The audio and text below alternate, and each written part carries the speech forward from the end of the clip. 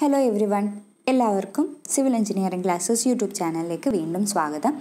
Jio technical engineering സബ്ജക്റ്റാണ് നമ്മൾ നോക്കിക്കൊണ്ടിരുന്നത്. അതിനകത്ത് തന്നെ നെക്സ്റ്റ് പാർട്ട് വീഡിയോ ആണ്. പാർട്ട് ഫോർ അല്ല. മേ ബി നിങ്ങൾ കാണുമ്പോൾ പാർട്ട് ഫൈവ് ആയിരിക്കും. ഓക്കെ അപ്പോൾ ലാസ്റ്റ് ക്ലാസ്സിൽ നമ്മൾ കുറേ ബേസിക് ആയിട്ടുള്ള പ്രോപ്പർട്ടീസ് സോയിലിന്റെ പ്രോപ്പർട്ടീസും അതിന്റെ ഇന്റർ റിലേഷൻഷിപ്സും കണ്ടു. ഇനി എങ്ങനെ അതൊരു ലബോറട്ടറിയിൽ അല്ലെങ്കിൽ ഒരു ഫീൽഡിൽ ഈ ഓരോ പ്രോപ്പർട്ടീസും കണ്ടുപിടിക്കാം? അതിന്റെ വാല്യൂസ് സൈറ്റിൽ നിന്നുള്ള സോയിലിന്റെത് എത്രയാണെന്നുള്ളത് മനസ്സിലാക്കാം. അതാണ് ഇന്നത്തെ വീഡിയോയിൽ നമ്മൾ ഡിസ്കസ് ചെയ്യാൻ പോകുന്നത്. ഇൻഡെക്സ് പ്രോപ്പർട്ടീസ് എന്ന് പറയുമ്പോൾ ഒരുപാട് ഇൻഡെക്സ് പ്രോപ്പർട്ടീസ് ഉണ്ട്. ഇന്നത്തെ ക്ലാസ്സിൽ നമ്മൾ ഡിറ്റർമൈൻ ചെയ്യാൻ പോകുന്നത് വാട്ടർ കണ്ടന്റ് എങ്ങനെ കണ്ടുപിടിക്കാം then specific gravity in situ density ഇത് മൂന്നുമാണ് ഈ ഒരു വീഡിയോയിൽ നമ്മൾ ഡിസ്കസ് ചെയ്യുന്നത്. പാർട്ടിക്കിൾ സൈസ് ഡിസ്ട്രിബ്യൂഷൻ അതുപോലെ തന്നെ കൺസിസ്റ്റൻസി ലിമിറ്റ്സ് ഇത് രണ്ടും വലിയ ചാപ്റ്റേഴ്സാണ് ഇൻഡിവിജ്വൽ ചാപ്റ്റേഴ്സ് ആയിട്ട് തന്നെ കുറച്ച് ഡീറ്റെയിൽ ആയിട്ട് കാര്യങ്ങൾ മനസ്സിലാക്കാൻ വേണ്ടിയിട്ടുണ്ട്. അത് നമുക്ക് സെപ്പറേറ്റ് വീഡിയോ ആയിട്ട് ചെയ്യാം. പിന്നെ ഡെൻസിറ്റി ഇൻഡെക്സ് ആണ്. അതൊരു ഡെഫിനിഷനും ചെറിയൊരു ഇക്വേഷനും ഉണ്ട്. അതും അതിന്റെ റിലവൻസും ഒക്കെ മറ്റൊരു വീഡിയോയിൽ ഡിസ്കസ് ചെയ്യുന്നതായിരിക്കും. സോ ഇന്നത്തെ ക്ലാസ്സിൽ ഇൻഡെക്സ് പ്രോപ്പർട്ടീസ് ആയിട്ടുള്ള വാട്ടർ കണ്ടന്റ് അതുപോലെ specific gravity and in situ density അതായത് സൈറ്റിൽ സോയിലിന്റെ ഡെൻസിറ്റി എങ്ങനെയാണ് ഡിറ്റർമൈൻ ചെയ്യുന്നത് അത് മൂന്നുമാണ് ഡിസ്കസ് ചെയ്യുന്നത്. ഫസ്റ്റ് ആൻഡ് ഏറ്റവും ഇമ്പോർട്ടന്റ് ആയിട്ട് ഉള്ളതാണ് വാട്ടർ കണ്ടന്റ് വാട്ടർ കണ്ടന്റ് കണ്ടുപിടിക്കാൻ ഒരുപാട് മെത്തേഡ്സ് ഉണ്ട്. അതിനകത്ത് തന്നെ ഓവൻ ഡ്രൈയിങ് മെത്തേഡാണ് നമ്മൾ കോളേജിലൊക്കെ ചെയ്തിരിക്കുന്നത് പൈക്നോമീറ്റർ മെത്തേഡും അതിനകത്ത് ഇമ്പോർട്ടന്റ് ആയിട്ടുണ്ട്. ഈ ഏഴ് മെത്തേഡിന്റെയും പേരുകൾ ഒന്ന് ഓർത്തിരിക്കുക. പ്രൊസീജിയർ നമുക്ക് പൈക്നോമീറ്ററിന്റെയും അതുപോലെ ഓവൻ ഡ്രൈയിങ് മെത്തേഡിന്റെയും മാത്രം നോക്കാം. Oven drying method sand bag method alcohol method calcium carbide method pycnometer method radiation method and last one is torsion balance method. ഈ നാല് മെത്തേഡാണ് മെയിനായിട്ട് വാട്ടർ കണ്ടന്റ് കണ്ടുപിടിക്കാനായിട്ട് യൂസ് ചെയ്യുന്നത്. ഇതിനകത്ത് ആദ്യത്തേതും ഏറ്റവും ഇമ്പോർട്ടന്റ് ആയിട്ടുള്ളതും വന്നിട്ട് ഓവൻ ഡ്രൈയിങ് മെത്തേഡാണ് ഓവൻ ഡ്രൈയിങ് മെത്തേഡ് പറഞ്ഞു കഴിഞ്ഞാൽ it is a most accurate method എന്ന് നമുക്ക് പറയാം. ഇതിനകത്ത് ചെയ്യുന്ന എന്താണെന്ന് പറഞ്ഞാൽ സോയിൽ സാമ്പിൾ എടുക്കുക. സോയിൽ സാമ്പിളിനെ ഒരു നൂറ്റി അഞ്ച് മുതൽ നൂറ്റി പത്ത് ഡിഗ്രി വരെ ഹീറ്റ് ചെയ്യും. സാധാരണ ഉള്ള ഇൻഓർഗാനിക് സോയിലുകളാണ് അതായത് വെജിറ്റേറ്റീവ് കണ്ടന്റ് കാര്യങ്ങളൊന്നും ഇല്ലാന്നുണ്ടെങ്കിൽ നൂറ്റി അഞ്ച് മുതൽ നൂറ്റി പത്ത് ഡിഗ്രി വരെ ഹീറ്റ് ചെയ്ത് ആണ് ഇതിനകത്ത് വാട്ടർ കണ്ടന്റ് എല്ലാം കളഞ്ഞതിന് ശേഷം ഡ്രൈ ആയിട്ടുള്ള സോയിലിന്റെ വെയിറ്റ് കണ്ടുപിടിക്കും. ആദ്യമേ ഇനിഷ്യലി നമ്മൾ മോയിസ്റ്റ് ആയിട്ടുള്ള സോയിലിന്റെ വെയിറ്റ് കണ്ടുപിടിച്ച് കണ്ടുപിടിച്ചിട്ടുണ്ടായിരുന്നു. എന്നിട്ട് ഡ്രൈ ആയിട്ടുള്ളതിന്റെയും വെയിറ്റ് കണ്ടുപിടിക്കുക. അതിനുശേഷം വാട്ടർ കണ്ടന്റ് ഡബ്ല്യു എന്ന് പറയുന്നത് നമുക്കറിയാം. It is the weight of water divided by weight of soil solids alone ആണ്. ഈ ഒരു ഇക്വേഷൻ വെച്ചിട്ട് ജസ്റ്റ് നമുക്ക് വാട്ടർ കണ്ടന്റ് എത്രയാണെന്ന് കണ്ടുപിടിക്കാൻ പറ്റുന്നതേ ഉള്ളൂ. ഓർഗാനിക് സോയിൽസ് ആണെന്നുണ്ടെങ്കിൽ അതായത് വെജിറ്റേറ്റീവ് കണ്ടന്റുകൾ ഉള്ള സോയിലാണെന്നുണ്ടെങ്കിൽ ഒരു അറുപത് ഡിഗ്രി സെൽഷ്യസിൽ മാത്രമേ ഹീറ്റ് ചെയ്യാൻ പാടില്ല അതിൽ കൂടുതലായിട്ട് ഹീറ്റ് ചെയ്താൽ ഈ ഓർഗാനിക് മാറ്ററുകൾ തന്നെ കരിഞ്ഞു പോകാനായിട്ടുള്ള സാധ്യതയുണ്ട്. അത് ഓവനിൽ വെക്കുന്ന സമയം വന്നിട്ട് ഒരു പതിനാല് മുതൽ പതിനാറ് മണിക്കൂർ വരെയൊക്കെയാണ്. നോർമലി ഒരു ഇരുപത്തിനാല് മണിക്കൂറൊക്കെ വെക്കുന്നുണ്ട്. അത് സാധാരണ കേസിൽ അഡോപ്റ്റ് ചെയ്യാറുള്ളത് ഒരു ട്വന്റി ഫോർ അവേഴ്സൊക്കെയാണ് അതും കുഴപ്പമില്ല. ഇതാണ് oven drying method oven drying method എന്താണെന്ന് ചോദിച്ചു കഴിഞ്ഞാൽ it is a most accurate method for finding the water content next method പറഞ്ഞിട്ട് സാൻഡ് ബാത്ത് മെത്തേഡാണ് സാൻഡ് ബാത്ത് മെത്തേഡിൽ എന്താ ചെയ്യുന്നതെന്ന് പറഞ്ഞാൽ ഇനിഷ്യലി ഒരു കണ്ടെയ്നർ എടുക്കുക. കണ്ടെയ്നറിനകത്ത് ഇതുപോലെ ഏത് സോയിലാണ് കണ്ടുപിടിക്കാനുള്ളത് അതിന്റെ ഫില്ല് ചെയ്യുക. അതിനുശേഷം ഇതിനെ ഒരു സാൻഡ് ബാത്തിൽ കൊണ്ടുവയ്ക്കുക. ഇതുപോലെ സാൻഡ് ഫിൽഡ് ആയിട്ടുള്ള ഒരു ട്രേയിൽ വെക്കുക. അതിന് മുകളിൽ നമ്മുടെ കണ്ടെയ്നർ വെക്കുന്നു. അതിനുശേഷം ഈ സാൻഡ് ട്രേ നല്ല രീതിയിൽ ഹീറ്റ് ചെയ്യുന്നു. അപ്പോൾ ഹീറ്റ് ചെയ്യുമ്പോൾ ഇവിടെ ഉള്ള പ്രശ്നം എന്ന് പറഞ്ഞാൽ ഇതുപോലെയുള്ള എന്തെങ്കിലും ഒരു ചെറിയ സെറ്റപ്പ് യൂസ് ചെയ്തിട്ടായിരിക്കും ഹീറ്റ് ചെയ്യുന്നത്. ഇതൊരു ഫീൽഡ് മെത്തേഡാണ് ഫീൽഡിലൊക്കെ നമുക്ക് പെട്ടെന്ന് കണ്ടുപിടിക്കണം എന്നുണ്ടെങ്കിൽ ചെയ്യാൻ പറ്റുന്ന ഒരു മെത്തേഡാണ് അപ്പോൾ ഈ ഹീറ്റ് ചെയ്യുന്ന ടെമ്പറേച്ചർ നമുക്ക് കൺട്രോൾ ചെയ്യാൻ പറ്റില്ല എന്നുള്ളതാണ്. അപ്പോൾ അതിനകത്ത് നിന്ന് എത്ര ടെമ്പറേച്ചറിലാണ് വരുന്നത് എന്നുള്ളത് നമുക്ക് ഡിറ്റർമൈൻ ചെയ്യാൻ പറ്റും. പക്ഷേ ആ ഒരു ടെമ്പറേച്ചർ കൂട്ടാനോ കുറയ്ക്കാനോ അല്ലെങ്കിൽ ഇത്ര ടെമ്പറേച്ചർ ലിമിറ്റിന് മുകളിലേക്ക് പോകാൻ പാടില്ല. അങ്ങനെ ഒരു കൺട്രോൾ നമുക്ക് ചെയ്യാനായിട്ട് സാധിക്കില്ല. അതാണ് ഈ ഒരു മെത്തേഡിന്റെ ഒരു ഡിസഡ്വാന്റേജ് പക്ഷേ ഇതിന്റെ അഡ്വാന്റേജ് എന്താണെന്ന് പറഞ്ഞാൽ വളരെ പെട്ടെന്ന് നമുക്ക് ഫീൽഡിൽ മറ്റേത് വന്നിട്ട് ഒരു ഫോർട്ടീൻ ടു സിക്സ്റ്റീൻ അവേഴ്സ് കഴിഞ്ഞിട്ട് മാത്രമേ ഓവൻ ഡ്രൈയിങ് മെത്തേഡിൽ നമുക്ക് റിസൾട്ട് കിട്ടൂ. ഇത് പെട്ടെന്ന് തന്നെ നമുക്ക് റിസൾട്ട് കിട്ടും. അതുപോലെ തന്നെ ഫീൽഡിലൊക്കെ അഡോപ്റ്റ് ചെയ്യാൻ പറ്റുന്ന ഒരു ടെസ്റ്റാണ് സാൻഡ് ബാത്ത് മെത്തേഡ് ടെസ്റ്റ് എല്ലാ മെത്തേഡിലും ചെയ്യുന്നത് ഓരോ ടൈമിലുള്ള വെയിറ്റ് എത്രയാണെന്ന് കണ്ടുപിടിക്കുക. അതിനുശേഷം വാട്ടർ കണ്ടന്റ് എന്ന് പറയുന്നത് that is a weight of water divided by weight of solids alone ആണ്. അപ്പോൾ ആ ഒരു ഇക്വേഷൻ യൂസ് ചെയ്തിട്ട് വാട്ടർ കണ്ടന്റ് കണ്ടുപിടിക്കുക. ഇതാണ് ചെയ്യുന്നത്. നെക്സ്റ്റ് മെത്തേഡ് വന്നിട്ട് ആൽക്കഹോൾ മെത്തേഡാണ് ആൽക്കഹോൾ മെത്തേഡും ഒരു ക്യുക്ക് മെത്തേഡാണ് പ്രൊസീജിയർ വലിയ കാര്യത്തിൽ ഇമ്പോർട്ടന്റ് അല്ല. അപ്പോൾ ബി ആർ ഒ പോലെയുള്ള കേസസിൽ അവർ യൂസ് ചെയ്യുന്ന ബി ആർ ഒ പോലെയുള്ള ഓർഗനൈസേഷനിലൊക്കെ സൈറ്റിൽ വന്നിട്ട് ചെയ്യണം എന്നുണ്ടെങ്കിൽ ആൽക്കഹോൾ മെത്തേഡൊക്കെ യൂസ് ചെയ്യാറുണ്ട്. ക്യുക്ക് മെത്തേഡാണ് മറ്റേ നമ്മൾ ലാസ്റ്റ് പറഞ്ഞ സാൻഡ് ബാഗ് മെത്തേഡ് പോലെ തന്നെ ടെമ്പറേച്ചർ എത്രയാവണം എന്നുള്ളൊരു കൺട്രോൾ നമ്മുടെ കയ്യിലല്ല. അതാണ് ഇതിന്റെ ഒരു ഡിസഡ്വാന്റേജ് നെക്സ്റ്റ് വൺ വന്നിട്ട് കാൽഷ്യം കാർബൈഡ് മെത്തേഡാണ് കാൽഷ്യം കാർബൈഡ് മെത്തേഡിൽ ചെയ്യുന്ന എന്താണെന്ന് പറഞ്ഞാൽ കാൽഷ്യം കാർബൈഡും വാട്ടറും കൂടി വരുമ്പോഴേക്കും അതിന്റെ റിയാക്ഷൻ വഴി അസറ്റ്ലീൻ ഗ്യാസ് പ്രൊഡ്യൂസ് ചെയ്യും. അപ്പോൾ ഈ അസറ്റ്ലീൻ ഗ്യാസ് എത്രത്തോളം പ്രഷർ പ്രൊഡ്യൂസ് ചെയ്യും ആ ഒരു പ്രഷർ മെഷർ ചെയ്യും അതനുസരിച്ച് ഇൻഡയറക്റ്റ് ആയിട്ട് വാട്ടറിന്റെ കണ്ടന്റ് എത്രയാണെന്നുള്ളത് മനസ്സിലാക്കാനായിട്ട് സാധിക്കും. ഇത് ഒരു ക്യുക്ക് മെത്തേഡാണ് ഒരു ഫൈവ് ടു സെവൻ മിനിറ്റ്സിൽ നമുക്ക് ആൻസർ കണ്ടെത്താനായിട്ട് സാധിക്കും. അതുപോലെ തന്നെ ഫീൽഡിൽ അഡോപ്റ്റ് ചെയ്യാൻ പറ്റുന്ന ഒരു മെത്തേഡാണ് calcium carbide method next method radiation മെത്തേഡാണ് ഇതിനകത്ത് radio active element cobalt sixty പോലെയുള്ള റേഡിയോ ആക്റ്റീവ് ആയിട്ടുള്ള എലമെന്റ്സ് യൂസ് ചെയ്തിട്ടാണ് വാട്ടർ കണ്ടന്റ് ഡിറ്റർമൈൻ ചെയ്യുന്നത്. ലാസ്റ്റ് മെത്തേഡ് വന്നിട്ട് ടോർഷൻ ബാലൻസ് മെത്തേഡാണ് അല്ലെങ്കിൽ ഇൻഫ്രാ റെഡ് മെത്തേഡ് എന്നും പറയും. അപ്പോൾ ഇതിനകത്ത് ഇൻഫ്രാ റെഡ് റേസിന്റെ യൂസേജും കൂടി വരുന്നതുകൊണ്ട് ഇൻഫ്രാ റെഡ് മെത്തേഡ് എന്നും പറയും. അപ്പോൾ ഡീറ്റെയിൽഡ് ആയിട്ട് അതിന്റെ പ്രൊസീജിയറിലേക്ക് പോകുന്നില്ല. ഇനി പൈക്നോമീറ്റർ മെത്തേഡ് ഉണ്ട്. പൈക്നോമീറ്റർ മെത്തേഡ് സ്പെസിഫിക് ഗ്രാവിറ്റി കണ്ടുപിടിക്കാനും അതുപോലെ വാട്ടർ കണ്ടന്റ് കണ്ടുപിടിക്കാൻ വേണ്ടിയിട്ട് നമുക്ക് യൂസ് ചെയ്യാൻ പറ്റും. അതുകൊണ്ട് തന്നെ നമുക്ക് അത് അവിടെ ഡിസ്കസ് ചെയ്യാം. Next coming to the next index property important ആയിട്ടുള്ളത് സ്പെസിഫിക് ഗ്രാവിറ്റി ആണ്. സ്പെസിഫിക് ഗ്രാവിറ്റി എന്ന് പറയുന്നത് ജി നമുക്കറിയാം ജിയുടെ equation it is a density of solids divided by density of water അല്ലെങ്കിൽ മറ്റൊരു രീതിയിൽ പറഞ്ഞാൽ unit weight of solids divided by unit weight of water അല്ലെങ്കിൽ മറ്റൊരു രീതിയിൽ എഴുതി കഴിഞ്ഞാൽ it is a weight of solids divided by weight of water ആണ്. സോ ഇത്രയും ആണ് സ്പെസിഫിക് ഗ്രാവിറ്റിയുടെ ബേസിക് ആയിട്ടുള്ള ഇക്വേഷൻ നമ്മൾ ലാസ്റ്റ് ക്ലാസ്സുകളിൽ കവർ ചെയ്തതാണ്. ഇത് കണ്ടുപിടിക്കാനായിട്ട് ഡിഫറെന്റ് മെത്തേഡ്സ് ഉണ്ട്. ഒന്ന് density bottle method then pycnometer method measuring flask method glass jar method shrinkage limit method ഇത്രയും മെത്തേഡ്സ് ആണ് സ്പെസിഫിക് ഗ്രാവിറ്റി കണ്ടുപിടിക്കാനായിട്ടുള്ളത്. ഇതിനകത്ത് ഫസ്റ്റ് ഫിഗറിൽ കാണിച്ചിരിക്കുന്നത് ഇറ്റ് ഈസ് എ ഡെൻസിറ്റി ബോട്ടിലാണ് കാണിച്ചിരിക്കുന്നത്. നെക്സ്റ്റ് വന്നിട്ട് പൈക്നോമീറ്റർ അപ്പാരറ്റസ് ആണ്. ഇതൊരു സിലിണ്ടറിക്കൽ ജാർ പോലെയുള്ള ഒരു അപ്പാരറ്റസ് മാത്രമാണ് പൈക്നോമീറ്റർ മെത്തേഡിനകത്ത് ഉള്ളത്. അപ്പോൾ സ്പെസിഫിക് ഗ്രാവിറ്റി എങ്ങനെയാണ് കണ്ടുപിടിക്കുന്നത് നമുക്ക് നോക്കാം. പൈക്നോമീറ്റർ മെത്തേഡാണ് നമ്മൾ ലാബിൽ ചെയ്തിട്ടുള്ളത്. അപ്പോൾ അത് മാത്രം നമുക്ക് ജസ്റ്റ് ഒന്ന് നോക്കി പോകാം. പൈക്നോമീറ്റർ മെത്തേഡിൽ ഫസ്റ്റ് ചെയ്യുന്നത് ആ പൈക്നോമീറ്റർ ഉണ്ടല്ലോ. അത് പറയുന്നത് ആ ഒരു ഗ്ലാസ് ജാറിനെ പറയുന്ന പേരാണ് പൈക്നോമീറ്റർ.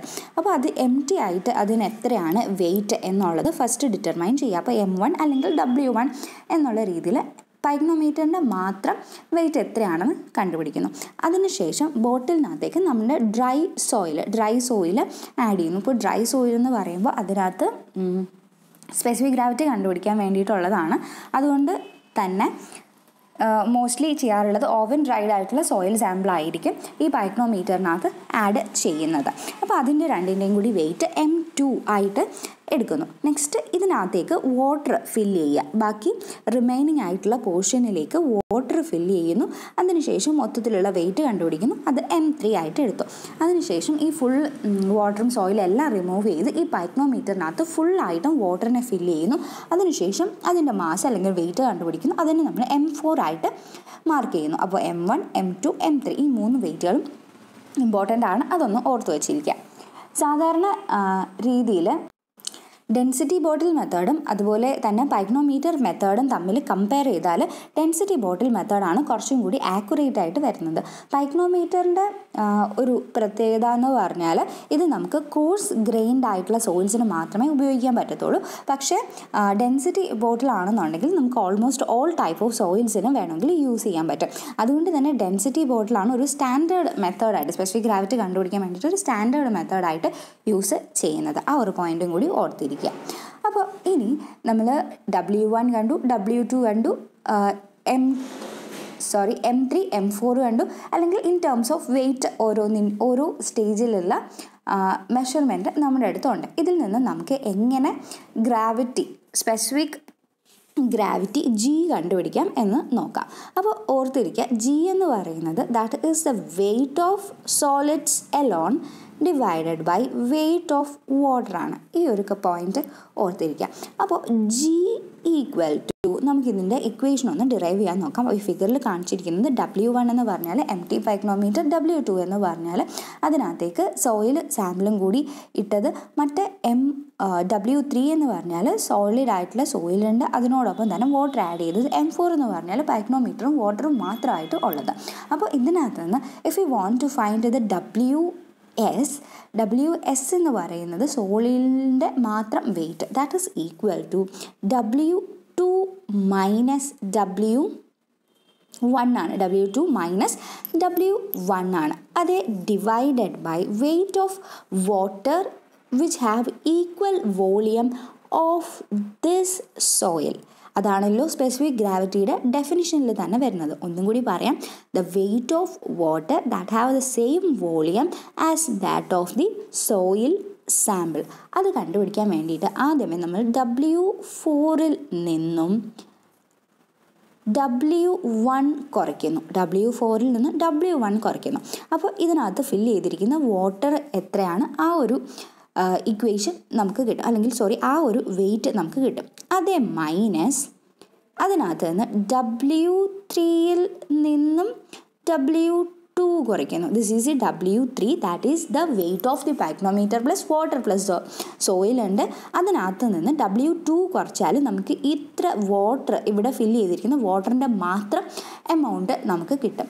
അപ്പോൾ ഓവറോൾ ഇതിനകത്തുള്ള വാട്ടറിന്റെ മാത്രം എമൗണ്ട് നമുക്ക് കിട്ടിക്കഴിഞ്ഞു അതേ മൈനസ് ഈ ഒരു കേസിൽ എക്സ്ട്രാ സോയിൽ കൂടാതെ ഫില്ല് ചെയ്തിരുന്ന വാട്ടറിന്റെ എമൗണ്ട് നമുക്ക് കിട്ടിക്കഴിഞ്ഞു. അത് രണ്ടും കൂടി മൈനസ് ചെയ്യുമ്പോൾ we are getting the volume of water that was filled in the place of the soil sample in the pycnometer അത് നമുക്ക് കിട്ടി. അപ്പോൾ weight of solids divided by weight of water ചെയ്യുമ്പോൾ നമുക്ക് സ്പെസിഫിക് ഗ്രാവിറ്റി നമുക്ക് കിട്ടി. This is the basic equation for finding the specific gravity ഇത് നമുക്കൊന്ന് വേണമെങ്കിൽ ഒന്ന് റീ അറേഞ്ച് ചെയ്ത് പഠിക്കാൻ എളുപ്പമുള്ള രീതിയിലേക്ക് ആക്കാം. That is W two minus W one divided by W four minus W three ഇതിനെ ഇങ്ങോട്ട് കൊണ്ടുവന്നു.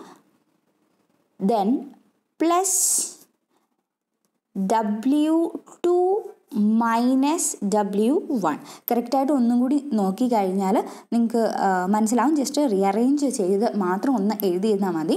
അപ്പോൾ ഇന്ന് നമുക്ക് നമ്മുടെ ബേസിക് ഇക്വേഷനായിട്ട് കണക്കാക്കാം. For finding the specific gravity by using the pycnometer that is W two minus W one divided by W four minus W three plus W two minus W one അപ്പോൾ ഓർത്തിരിക്കാൻ വേണ്ടിയിട്ട് two one that is two minus one divided by four three that is four minus three plus two one again that is two minus one ആ ഒരു രീതിയിൽ നമുക്ക് ഓർത്തിരിക്കാം. ഒന്നും കൂടി ഇത് എക്സാമിന്റെ സമയത്ത് ഓക്കെ ഇത് മൈനസ് ചെയ്ത് അത് ചെയ്യുമ്പോഴേക്കും നമുക്ക് ഇങ്ങനെ കിട്ടും. അങ്ങനെ ചിന്തിച്ചെടുക്കാനുള്ള സമയം നമുക്ക് കിട്ടില്ല. അപ്പോൾ ഈ W one W two W three W four എന്ന് പറയുന്നത് സാധാരണ സ്റ്റാൻഡേർഡ് ആയിട്ടുള്ള പൈക്രോമീറ്ററിനെ സംബന്ധിച്ചിടത്തോളം സ്റ്റാൻഡേർഡ് ആയിട്ടുള്ള ഒരു കാര്യമാണ്. അപ്പോൾ പൈക്രോമീറ്ററിന്റെ ഒബ്സർവേഷൻസ് ഇങ്ങനെയാണ്. അങ്ങനെയാണെങ്കിൽ സ്പെസിഫിക് ഗ്രാവിറ്റി എത്രയാണെന്ന് കണ്ടുപിടിക്കൂ.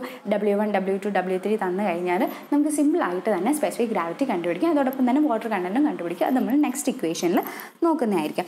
അപ്പോൾ ജി കണ്ടുപിടിക്കാൻ വേണ്ടിയിട്ട് we have the equation that is two one divided by four three plus two one that is two minus one divided by four minus three plus two minus one ഇതാണ് specific gravity കണ്ടുപിടിക്കാനുള്ള equation okay അപ്പോൾ specific gravity G കണ്ടുപിടിച്ച് കഴിഞ്ഞു. അങ്ങനെയാണെങ്കിൽ ഈ pycnometer വെച്ചിട്ട് water content കണ്ടുപിടിക്കാൻ വേണ്ടിയിട്ട് ദർ ഇസ് എൻ ഇക്വേഷൻ ഈ ഇക്വേഷനും ഫുള്ളി ലോജിക്കൽ നമ്മൾ നേരത്തെ ഇപ്പോൾ ഡിറൈവ് ചെയ്ത് സ്പെസിഫിക് ഗ്രാവിറ്റി പോലെ തന്നെ ലോജിക്കലായിട്ട് വരുന്ന ഒരു മെത്തേഡ് മാത്രമാണ്. അപ്പോൾ അതുകൊണ്ട് വലിയ കൺഫ്യൂഷന്റെ ആവശ്യമില്ല. അവിടെയും W two minus W one ആണ്. ഇത് divided by W three minus W four into g minus 1 divided by g minus 1 okay so this is the equation for finding the water content by using the pycnometer measurements ഇവിടെ two minus one divide divided by three four ആണ്. That is three minus four ആണ്. Into G minus one divide by G minus one ആണ്. ഈ ഒരു കാര്യം ഓർത്തിരിക്കുക. So this is about the pycnometer method ഇപ്പോൾ നമ്മൾ നോക്കിക്കഴിഞ്ഞാൽ ഒരു മെത്തേഡ് നമ്മൾ സ്പെസിഫിക് ഗ്രാവിറ്റി കണ്ടുപിടിക്കാൻ വേണ്ടി പറയുന്നത് ഡെൻസിറ്റി ബോട്ടിലാണ് ദാറ്റ് ഇസ് ദിസ് മെത്തേഡ് ഈ ഒരു മെത്തേഡ് എക്സാക്ട് സെയിം കാൽക്കുലേഷൻസ് തന്നെയാണ് സോയിൽ ഡെൻസിറ്റി ബോട്ടിൽ എടുക്കുന്നു സോയിൽ ഫില്ല് ചെയ്യുന്നു വാട്ടർ ഫില്ല് ചെയ്യുന്നു. അതിനുശേഷം ഓരോ വെയ്റ്റ്സ് കണ്ടുപിടിക്കുന്നു. അതിനുശേഷം സെയിം ഇക്വേഷൻസ് തന്നെ അപ്ലൈ ചെയ്ത് അല്ലെങ്കിൽ സെയിം ലോജിക്ക് തന്നെ അപ്ലൈ ചെയ്തിട്ടാണ് സ്പെസിഫിക് ഗ്രാവിറ്റി അല്ലെങ്കിൽ വാട്ടർ കണ്ടന്റ് കണ്ടെത്തുന്നത്. നെക്സ്റ്റ് ഒരു കേസും കൂടിയുണ്ട്. നമ്മൾ പറഞ്ഞു സ്പെസിഫിക് ഗ്രാവിറ്റി ലാസ്റ്റ് ക്ലാസ്സിൽ പറഞ്ഞാണ് സ്പെസിഫിക് ഗ്രാവിറ്റി കണ്ടുപിടിക്കുന്ന ഒരു സ്റ്റാൻഡേർഡ് ടെമ്പറേച്ചർ എന്ന് പറയുന്നത് ഇരുപത്തേഴ് ഡിഗ്രി സെൽഷ്യസ് ആണ്. ഇൻ കേസ് നമ്മൾ ഇരുപത്തേഴ് ഡിഗ്രി സെൽഷ്യസിലല്ല സ്പെസിഫിക് ഗ്രാവിറ്റി കണ്ടുപിടിക്കുന്നത് അല്ലെങ്കിൽ റിപ്പോർട്ട് ചെയ്യുന്നത് എന്നുണ്ടെങ്കിൽ മറ്റേതെങ്കിലും ടെമ്പറേച്ചറുകൾ ആണെന്നുണ്ടെങ്കിൽ if you have to find the specific gravity at a different temperature ആ ഒരു സമയത്ത് നമുക്ക് യൂസ് ചെയ്യാൻ പറ്റുന്ന ഒരു ഇക്വേഷനാണ് ജസ്റ്റ് ഒന്ന് ഓർത്തിരിക്കുക. That is the specific gravity at 27 degrees celsius. Specific gravity of the soil at the 77 degrees celsius multiplied by specific gravity of water at 20 sorry 27 degrees celsius is equal to specific gravity of the soil at t degrees celsius multiplied by specific gravity of water at t degree celsius. This is a basic equation okay മറ്റൊരു ടെമ്പറേച്ചറിലാണ് measure ചെയ്യുന്നത് എങ്കിൽ ഇതാണ് equation ഇപ്പം നമ്മൾ പറഞ്ഞു പൈക്നോമീറ്ററിനകത്ത് നമ്മൾ വാട്ടറാണ് fill ചെയ്യുന്നത്. ഇനി വാട്ടറിന് കൂടാതെ കെറോസിനും ഫില്ല് ചെയ്യാറുണ്ട്. അപ്പോൾ അങ്ങനെ എന്തെങ്കിലും ക്വസ്റ്റ്യൻസ് വന്നാൽ കൺഫ്യൂസ് ചെയ്യേണ്ട. ജസ്റ്റ് നമ്മൾ ചെയ്ത ഇക്വേഷൻ ചെയ്തെടുത്ത ജിയുടെ ഇക്വേഷനോടൊപ്പം തന്നെ special gravity of the kerosene just ഒന്ന് മൾട്ടിപ്ലൈ ചെയ്താൽ മതി. അങ്ങനെ ക്വസ്റ്റ്യൻസ് ഒന്നും വരാൻ സാധ്യതയില്ല. ജസ്റ്റ് അങ്ങനെ ഒരു സാധ്യതയും കൂടി ഉണ്ട് എന്നുള്ളത് പറഞ്ഞു എന്ന് മാത്രം. നെക്സ്റ്റ് ഇനി മൂന്നാമത്തെ ഇൻഡെക്സ് പ്രോപ്പർട്ടിയിലേക്ക് വരാം. That is a unit weight unit weight അല്ലെന്നുണ്ടെങ്കിൽ സൈറ്റിൽ എത്രയാണ് ഡെൻസിറ്റി എന്ന് അതാണല്ലോ നമുക്ക് കണ്ടുപിടിക്കണം സൈറ്റിലെ സോയിലിന് ഡെൻസിറ്റി എത്രയാണെന്ന് കണ്ടുപിടിക്കാനായിട്ടുള്ള മെത്തേഡാണ് ആറ് മെത്തേഡുകൾ പറഞ്ഞിട്ടുണ്ട്.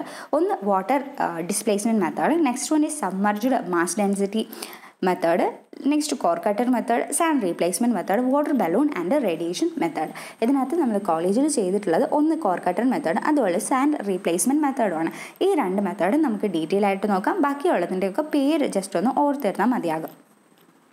ഫസ്റ്റ് മെത്തേഡ് സാൻഡ് റീപ്ലേസ്മെന്റ് മെത്തേഡാണ് സാൻഡ് റീപ്ലേസ്മെന്റ് മെത്തേഡിന്റെ പ്രത്യേകത എന്ന് പറഞ്ഞാൽ നമുക്ക് ഏത് ടൈപ്പ് ഓഫ് സോയിൽ ഏത് സൈസിലുള്ള സോയിൽ നമുക്കിത് അഡോപ്റ്റ് ചെയ്യാൻ പറ്റും എന്നുള്ളതാണ്.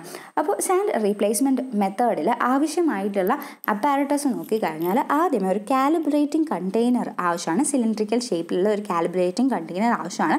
നെക്സ്റ്റ് വന്നിട്ട് ഒരു സാൻഡ് പോറിംഗ് ആയിട്ടുള്ള ഒരു സിലിണ്ടർ പൂരിംഗ് അല്ല ഇറ്റ് സാൻഡ് പോറിംഗ് ആയിട്ടുള്ള ഒരു സിലിണ്ടർ വേണം. സാൻഡ് പോറിങ് സിലിണ്ടറിന്റെ അവന്റെ ഷേപ്പ് നോക്കിക്കഴിഞ്ഞാൽ ഇങ്ങനെ ആയിരിക്കും ഉണ്ടാവും. മുകളിൽ വന്നിട്ട് ഒരു സിലിണ്ടറിക്കൽ പോർഷൻ താഴെ വന്നിട്ട് ഒരു കോണിക്കൽ ആയിട്ടുള്ള ഒരു ഓപ്പണിംഗ് ആയിരിക്കും ഉണ്ടാവുന്നത്. ഇതിന് രണ്ടിനും ഇടയ്ക്ക് ഒരു ഹോൾ ഉണ്ടാവും. ഈ ഹോൾ നമുക്ക് തുറക്കുക അടയ്ക്കുകയൊക്കെ ചെയ്യാം. പുറത്ത് ഇങ്ങനെ ഒരു ചെറിയൊരു ഹാൻഡിൽ പോലെ ഉണ്ട്. അത് വെച്ചിട്ട് നമുക്ക് തുറക്കാനും അടയ്ക്കാനും സാധിക്കും. അപ്പോൾ ഈ ഹോൾ ഓപ്പൺ ചെയ്യുമ്പോഴേക്കും ഈ സിലിണ്ടറിനകത്ത് നമ്മൾ എന്താണ് മുകളിൽ സാൻഡിൽ സോറി ഈ കണ്ടെയ്നറിൽ ഫില്ല് ചെയ്യുന്നത്. അത് വന്ന് ഈ കോണിൽ ഫില്ലാവുകയാണ് ചെയ്യുന്നത്.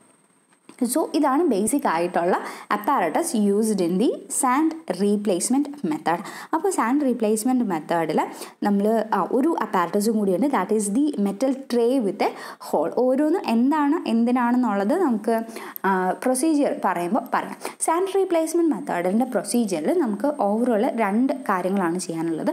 ഒന്ന് ഈ ഒരു സിലിണ്ടറിനെ നമ്മൾ കാലിബ്രേറ്റ് ചെയ്തെടുക്കുക. ഇതിനകത്ത് ഒരു സ്റ്റാൻഡേർഡ് സ്റ്റാൻഡേർഡ് ആയിട്ടുള്ള ഏതെങ്കിലും ഒരു സോയിൽ ഫില്ല് ചെയ്തതിന് ശേഷം അതിന്റെ ജസ്റ്റ് സ്പെസിഫിക് ഗ്രാവിറ്റി കണ്ടുപിടിച്ച് എങ്ങനെയാണ് അതിന്റെ സ്പെസിഫിക് ഗ്രാവിറ്റി അല്ലെങ്കിൽ സോറി സ്പെസിഫിക് ഗ്രാവിറ്റി അല്ല അതിന്റെ യൂണിറ്റ് വെയിറ്റ് എത്രയാണ് വരുന്നത് എന്നുള്ളത് കറക്റ്റായിട്ടൊന്ന് ഐഡന്റിഫൈ ചെയ്യുക. ആ ഒരു പ്രൊസീജിയറിൽ കാലിബ്രേഷൻ ഓഫ് ദി സിലിണ്ടർ ചെയ്യും. അതിനുശേഷമാണ് നമ്മൾ എക്സാക്റ്റ് നമ്മുടെ സൈറ്റിലുള്ള സോയിലിന്റെ ഡെൻസിറ്റി മെഷർ ചെയ്യുന്നത്. അപ്പോൾ മൊത്തത്തിലുള്ള പ്രൊസീജിയർ നമുക്കൊന്ന് നോക്കാം. ഫസ്റ്റ് ചെയ്യുന്ന എന്താണെന്ന് പറഞ്ഞാൽ ആദ്യമേ ഈ ഒരു സാൻഡ് പോറിങ് സിലിണ്ടറിനകത്ത് ഫുൾ ഇവിടം വരെ ഈ ഷട്ടർ ക്ലോസ് ആണ്. ഷട്ടർ ക്ലോസ് ചെയ്ത് ഫുൾ ഇവിടം വരെ സാൻഡ് ഫില്ല് ചെയ്യും. സാൻഡ് ഒരു സ്റ്റാൻഡേർഡ് ആയിട്ടുള്ള ഒരു സോയിൽ ആയിട്ടാണ് സെലക്ട് ചെയ്തിരിക്കുന്നത്. സാൻഡ് ഫില്ല് ചെയ്യും. സാധാരണ മുന്നൂറ് മൈക്രോൺ തൊട്ട് അറുന്നൂറ് മൈക്രോൺ സൈസിന് ഇടയ്ക്കുള്ള സോയിലായിരിക്കും ഫില്ല് ചെയ്യുന്നത്. അതിനുശേഷം ഈ കണ്ടെയ്നറിനെ കൊണ്ടുപോയിട്ട് നമ്മൾ വെയിറ്റ് മെഷർ ചെയ്യുന്നു. കണ്ടെയ്നറിനെ കൊണ്ടുവന്ന് വെയിറ്റ് മെഷർ ചെയ്യുമ്പോൾ ഇപ്പോൾ ഡബ്ല്യു വൺ വെയിറ്റ് എന്നുള്ളത് നമുക്ക് കിട്ടും. നെക്സ്റ്റ് ചെയ്യുന്നത് എന്ന് പറഞ്ഞാൽ ഈ സാൻഡ് പോറിംഗ് സിലിണ്ടർ കൊണ്ടുവന്ന് നമ്മുടെ കാലിബ്രേറ്റിംഗ് സിലിണ്ടർ ഉണ്ടല്ലോ നേരത്തെ നമ്മൾ ഫിഗറിൽ കണ്ട ഈ കാലിബ്രേറ്റിംഗ് സിലിണ്ടർ കാലിബ്രേറ്റിംഗ് സിലിണ്ടറിന്റെ മുകളിൽ കൊണ്ടുവന്ന് വെച്ചിട്ട് ഈ ഷട്ടർ നമ്മളങ്ങ് ഓപ്പൺ ആക്കും. ഷട്ടർ ഓപ്പൺ ആക്കുമ്പോഴേക്കും ഈ സാൻഡ് വന്നിട്ട് ഈ കാലിബ്രേറ്റിംഗ് സിലിണ്ടറിനകത്ത് ഫില്ലാവും കാലിബ്രേറ്റിംഗ് സിലിണ്ടറും അതോടൊപ്പം ഈ സിലിണ്ടറിന്റെ മുകളിലായിട്ട് സാൻഡും കൂടിയുണ്ട്. സോറി ഒരു കോണും കൂടിയുണ്ട്. ആ ഒരു കോണിലും കൂടി സോയിൽ അല്ലെങ്കിൽ നമ്മുടെ സാൻഡ് വന്നിട്ട് ഫില്ലാവുകയാണ് ചെയ്യുന്നത്. അപ്പോൾ ഇത് മൊത്തത്തിൽ ഫില്ലായി കഴിയുമ്പോഴേക്കും പിന്നെ സാൻഡ് മൂവ്മെന്റ് നടക്കത്തില്ല. അപ്പോൾ പെട്ടെന്ന് തന്നെ നമ്മൾ ഈ ഷട്ടർ ക്ലോസ് ചെയ്യുന്നു. അതിനുശേഷം ഈ സിലിണ്ടർ മാറ്റി എടുത്തുകൊണ്ട് പോയി. ഈ സിലിണ്ടറിൽ എത്രത്തോളം വെയിറ്റ് ഉണ്ടെന്ന് മെഷർ ചെയ്യുന്നു. ദാറ്റ് ഈസ് നമ്മൾ ഡബ്ല്യു ടു മെഷർ ചെയ്തു. അപ്പോൾ ഡബ്ല്യു ടു മെഷർ ചെയ്ത് കഴിഞ്ഞു. അപ്പോൾ ഡബ്ല്യു വൺ എന്ന് പറയുന്നത് ഫുൾ സാൻഡ് പോറിങ് സിലിണ്ടറിൽ എത്ര വെയിറ്റ് ഓഫ് സാൻഡ് ഉണ്ട്. അത് ആണ് ഡബ്ല്യു വൺ എന്ന് പറഞ്ഞാൽ അതേ മൈനസ് ഡബ്ല്യു ടു ചെയ്ത് കഴിയുമ്പോൾ ഈ സാൻഡ് പോറിങ് സിലിണ്ടറിനകത്ത് ഈ ഒരു കാലിബ്രേറ്റിംഗ് സിലിണ്ടർ അതേ പ്ലസ് സാൻഡ് പോറിംഗ് സിലിണ്ടറിന്റെ ആ കോൺ പോർഷനിലുള്ള സാൻഡ് ഫില്ല് ചെയ്തത് കഴിഞ്ഞിട്ട് ബാക്കി എത്രത്തോളം സോയിലുണ്ട് അതാണ് ഡബ്ല്യു ടു എന്ന് പറയുന്നത്. അപ്പോൾ W one minus W two ചെയ്ത് കഴിഞ്ഞാൽ മനസ്സിലാക്കാനുള്ളത് ഈ ഒരു സിലിണ്ടറിനകത്ത് ഒരു സാൻഡ് പോറിംഗ് സോറി ഈ കാലിബ്രേറ്റിംഗ് സിലിണ്ടറിനകത്ത് പ്ലസ് ഈ കോണിനകത്ത് രണ്ടിനകത്തും കൂടി ചേർന്നിട്ട് എത്രത്തോളം വെയിറ്റ് ഓഫ് സോയിൽ അല്ലെങ്കിൽ സാൻഡ് ഫില്ലായി എന്നുള്ള കാര്യം നമുക്ക് മനസ്സിലാക്കും. ഈ മനസ്സിലാക്കാൻ പറ്റും. ഇത് രണ്ടും കൂടി ഡിഫറൻസ് എടുത്തു കഴിഞ്ഞാൽ. അതിനുശേഷം ചെയ്യുന്നത് നമുക്ക് കണ്ടുപിടിക്കേണ്ടത് ശരിക്കും പറഞ്ഞാൽ ഈ കാലിബ്രേറ്റിംഗ് സിലിണ്ടറിനകത്ത് മാത്രം എത്ര വെയിറ്റ് ഓഫ് സോയിൽ അല്ലെങ്കിൽ സാൻഡ് ഫില്ലായി എന്നുള്ളതാണ് നമുക്ക് മനസ്സിലാക്കാനുള്ളത്. അപ്പോൾ അതിനുശേഷം എന്താ ചെയ്യുന്നതെന്ന് പറഞ്ഞാൽ ഒരു പ്ലെയിൻ ആയിട്ടുള്ള സർഫസിൽ കൊണ്ടുവന്നിട്ട് ഈ സാൻഡ് പോറിങ് സിലിണ്ടർ വെക്കുന്നു. അതിനുശേഷം ഷട്ടർ ഓപ്പൺ ആക്കുന്നു. ഷട്ടർ ഓപ്പൺ ആക്കുമ്പോഴേക്കും ഈ കോൺ പോർഷനിൽ പ്ലെയിൻ ആയിട്ടുള്ള സർഫസ് ആണിന്റെ മുകളിലാണ്. അതുകൊണ്ട് ഈ കോൺ പോർഷനിൽ മാത്രം സാൻഡ് ഫില്ലാവും. അതിനുശേഷം ഷട്ടർ ക്ലോസ് ചെയ്തിട്ട് ഈ ഒരു സിലിണ്ടർ എടുത്ത് മാറ്റുന്നു. ഈ സാൻഡ് അതായത് കോണിൽ ഫില്ല് ചെയ്ത സാൻഡ് മാത്രം കളക്ട് ചെയ്ത് അതിന്റെ വെയിറ്റ് മാത്രം എടുക്കുന്നു. അതിനെ നമ്മൾ ഡബ്ല്യു ത്രീ എന്ന് എടുക്കാം. ഓക്കെ അങ്ങനെയാണെങ്കിൽ if we are writing W S in the calibrating cylinder that is equal to W one minus W two minus W three ആയിരിക്കും. That is a weight of the sand alone in the calibrating cylinder വരുന്നത്. നമുക്കറിയാം if you have to find the unit weight of the sand this is a unit weight of the sand that is equal to W S divided by volume of that particular cylinder ആയിരിക്കും ഏത് സിലിണ്ടറിലാണ് അത് fill ചെയ്തിരിക്കുന്നത്? അതായിരിക്കും volume of that sand എന്ന് പറയുന്നത്. That is equal to weight of the soil sand divided by volume of the cylindrical calibrating container V C എന്നെടുക്കുക ഇത് സാധാരണയായിട്ട് തൗസൻഡ് സി സി ഒക്കെ ആയിരിക്കും അതിന്റെ സാധാരണയായിട്ടുള്ള സ്റ്റാൻഡേർഡ് വോളിയം എന്ന് പറയുന്നത്. സോ ഇതുവഴി നമുക്ക് യൂണിറ്റ് വെയിറ്റ് അല്ലെങ്കിൽ ഡെൻസിറ്റി ഇപ്പോൾ ഇത് ഇതെല്ലാം മാസിന്റെ ടേംസിലാണ് എടുക്കുന്നതെന്നുണ്ടെങ്കിൽ നമുക്കിവിടെ ഡെൻസിറ്റി ആയിരിക്കും കിട്ടുന്നത്. So we have found out the density അല്ലെങ്കിൽ unit weight of the calibrating സാൻഡിന്റെ unit weight ഈ ഒരു പർട്ടിക്കുലർ കാലിബ്രേറ്റിംഗ് സിലിണ്ടറിൽ ഫില്ല് ചെയ്തിട്ടുള്ളത് നമ്മൾ കണ്ടുപിടിച്ചു. ഇനി അടുത്ത സ്റ്റെപ്പിൽ നമുക്ക് ചെയ്യാനുള്ളതെന്ന് പറഞ്ഞാൽ we have to dig a hole in the site സൈറ്റിൽ എവിടെയാണ് നമുക്ക് സോയിലിന്റെ ഡെൻസിറ്റി കണ്ടുപിടിക്കാനുള്ളത് അവിടെ ഇതുപോലെ ആ സെയിം ഒരു നമ്മുടെ കാലിബ്രേറ്റിംഗ് സിലിണ്ടർ ഉണ്ടല്ലോ അതേ മെഷർമെന്റിൽ നമ്മളൊരു കുഴി ഉണ്ടാക്കും. അതിന് വേണ്ടിയിട്ടാണ് ഈ മെറ്റൽ പാൻ യൂസ് ചെയ്തിരിക്കുന്നത്. അപ്പോൾ ഈ മെറ്റൽ പാൻ കൊണ്ടുവന്ന് ഗ്രൗണ്ടിൽ വെക്കുന്നു.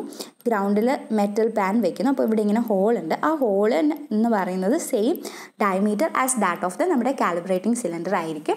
അപ്പോൾ അത് വെച്ചിട്ട് സെയിം ഡെപ്തിലാണ് കാലിബ്രേറ്റിംഗ് സിലിണ്ടറിന് എത്രത്തോളം ഹൈറ്റാണുള്ളത് സെയിം ഡെപ്തിൽ ഇതുപോലൊരു കുഴി നമ്മൾ ഉണ്ടാക്കുന്നു. അങ്ങനെ ഈ കുഴി ഉണ്ടാക്കിയതിന് ശേഷം എന്താ ചെയ്യുന്നതെന്ന് പറഞ്ഞാൽ ഈ സാൻഡ് പോറിങ് സിലിണ്ടർ മൊത്തത്തിൽ ഫില്ലായിട്ട് ഉള്ള സാൻഡ് പോറിങ് സിലിണ്ടർ കൊണ്ടുവന്ന് ഈ ഹോളിന് മുകളിലായിട്ട് വെക്കുന്നു. അതിനുശേഷം ഷട്ടർ ഓപ്പൺ ആക്കുന്നു. ഷട്ടർ ഓപ്പൺ ആക്കുമ്പോഴേക്കും സാൻഡ് വന്നിട്ട് നമ്മുടെ ഹോൾ അതുപോലെ അതുപോലെ തന്നെ ഈ കോണിലും കൂടി രണ്ടിടത്തും കൂടി വന്നിട്ട് സാൻഡ് ഫില്ലാവും അതിനുശേഷം ഈ സാൻഡ് പോറിങ് സിലിണ്ടർ തിരിച്ചെടുത്തുകൊണ്ട് പോയി. അതിന്റെ വെയിറ്റ് ബാക്കി എത്ര വെയിറ്റ് ഉണ്ട് എന്നുള്ളത് ഒന്ന് മെഷർ ചെയ്ത് എടുത്തിരിക്കുക മെഷർ ചെയ്ത് എടുക്കുമ്പോൾ വി വിൽ ഗെറ്റ് നമുക്കതിന് ഡബ്ല്യു ഫോർ ആയിട്ട് എടുക്കാം. ഡബ്ല്യു ഫോർ എന്ന് പറയുന്നത് സാൻഡ് പോറിങ് സിലിണ്ടറിൽ നിന്നും സാൻഡ് നമ്മൾ എക്സ്കവേറ്റ് ചെയ്ത ഹോളിലും അതോടൊപ്പം തന്നെ സാൻഡ് പോറിങ് സിലിണ്ടറിന്റെ ഹോളിലും കൂടി ഫില്ല് ചെയ്തിട്ട് ഫില്ല് ചെയ്തിട്ട് ബാക്കി എത്ര വെയിറ്റ് ഉണ്ട്. അതാണ് നമ്മൾ ഡബ്ല്യു ഫോർ എന്ന് പറയുന്നത്. അപ്പോൾ ഈ ഹോളിന്റെ വോളിയം കണ്ടുപിടിക്കാൻ വേണ്ടിയിട്ട്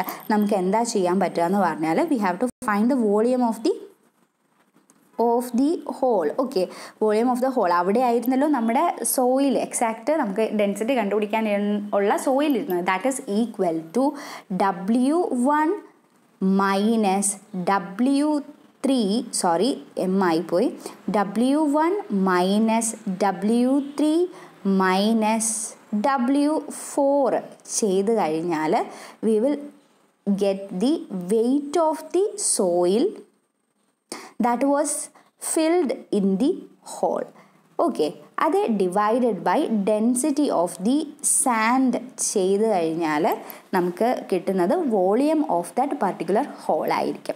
അപ്പോൾ നമുക്ക് വോളിയം ഓഫ് ദി ഹോൾ കിട്ടി. അങ്ങനെയാണെന്നുണ്ടെങ്കിൽ if you have to find the unit weight ഇതിപ്പോൾ ഇവിടെ യൂണിറ്റ് വെയിറ്റ് ആണ് വരുന്നത്. സോറി ഇവിടെ ഡെൻസിറ്റി അല്ല. യൂണിറ്റ് വെയിറ്റ് ആണ്. Unit weight of the soil in the site is equal to നമ്മൾ ഒരു പാനിലേക്കാണ് ഇവിടെ എക്സ്കവേറ്റ് ചെയ്തപ്പോൾ ഈ ഒരു പാനിലേക്കാണ് കുഴിച്ച് ഫുൾ സോയിൽ കളക്ട് ചെയ്തത്. അത് കൊണ്ടുപോയിട്ട് അതിന്റെ വെയിറ്റ് നമ്മൾ ഓൾറെഡി കണ്ടുപിടിച്ചു. അപ്പം weight of the soil divided by volume of hole ചെയ്ത് കഴിഞ്ഞാൽ we will get the unit weight of the soil from the site ഇതാണ് പ്രൊസീജിയർ കുറച്ച് ഒരു ലെങ്തി പ്രൊസീജിയറായിട്ട് തോന്നും. പക്ഷേ ആ ഒരു കോൺസെപ്റ്റ് എങ്ങനെയാണ് വന്നത് എന്നുള്ളത് മനസ്സിലാക്കാൻ വേണ്ടിയിട്ടാണ് ഇത് ചെയ്യുന്നത്. ഇപ്പോൾ സാധാരണ ഗതിയിൽ ഇത് പഠിക്കാനുള്ള യൂസ് എന്താണെന്ന് ചോദിച്ചു കഴിഞ്ഞാൽ നമുക്കൊരു സൈറ്റ് സിറ്റുവേഷൻ തന്നു കഴിഞ്ഞാൽ അല്ലെ എങ്ങനെയാണ് നമുക്ക് സ്പെസിഫിക് ഗ്രാവിറ്റി കണ്ടുപിടിക്കാം എന്നുള്ളത് ഈ ഒരു മൊത്തവും പ്രൊസീജിയർ മനസ്സിലാക്കുന്ന അടുത്തോളം നമുക്കത് ചെയ്യാനായിട്ട് സാധിക്കാം.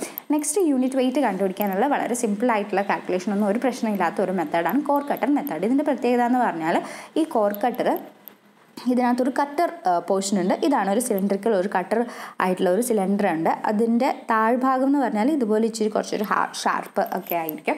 അപ്പോൾ ഇത് വെച്ചിട്ട് താഴേക്ക് ഒരു റാമർ യൂസ് ചെയ്ത് നമുക്ക് ഏത് സോയിലാണ് കണ്ടുപിടിക്കേണ്ടത് അതിന്റെ ഡെൻസിറ്റി കണ്ടുപിടിക്കണം. അതിനകത്ത് ഒരു റാമർ വെച്ചിട്ട് അടിച്ച് താഴേക്ക് ഇറക്കുവാണ്. അപ്പോഴേക്കും ഇതിനകത്ത് ഫുള്ള് സോയിൽ നല്ല കോമ്പാക്റ്റ് ആയിട്ടുള്ള രീതിയിൽ സോയിൽ വന്ന് ഫില്ലായിട്ട് ഇരുന്നിട്ടുണ്ടാവും. അപ്പോൾ എത്രത്തോളം സോയിലാണ് അതിനകത്ത് കളക്ട് ചെയ്തത് അതിന്റെ വെയിറ്റ് നമ്മൾ കണ്ടുപിടിക്കുക വെയിറ്റ് ഓഫ് ദി സോയിൽ കണ്ടുപിടിക്കുക. അത് divided by volume of the cylinder അത്രയും വോളിയത്തിലാണല്ലോ സോയിൽ ഒക്കുപൈ ചെയ്തിരിക്കുന്നത്. So volume of the cylinder അല്ല വോളിയം ഓഫ് ദി കട്ടർ ഇവിടെ കട്ടറാണ് സോ കട്ടർ കണ്ടുപിടിക്കുക. അപ്പോൾ നമുക്ക് അതിന്റെ യൂണിറ്റ് വെയിറ്റ് കണ്ടുപിടിക്കാനായിട്ട് സാധിക്കും. അപ്പോൾ നമ്മൾ പറഞ്ഞു ഒരു റാമർ വെച്ചിട്ട് ഈ ഒരു കട്ടർ ഇങ്ങനെ അടിച്ച് അതിലേക്ക് കയറ്റുകയാണ് ചെയ്യുന്നത്. അപ്പോൾ അങ്ങനെയാണെന്നുണ്ടെങ്കിൽ സോഫ്റ്റും അതുപോലെ ഫൈൻ ഗ്രെയിൻഡ് ആയിട്ടുള്ള സോയിൽസിന് മാത്രമേ ഇത് നമുക്ക് അഡോപ്റ്റ് ചെയ്യാനായിട്ട് സാധിക്കുകയുള്ളൂ. അതാണ് കോർ കട്ടർ മെത്തേഡിന്റെ ഒരു പ്രത്യേകത. സോ ജസ്റ്റ് ആ ഒരു പ്രൊസീജിയർ മൊത്തത്തിൽ ഒന്ന് കൊടുത്തിരിക്കുന്നു എന്ന് മാത്രമേ ഉള്ളൂ.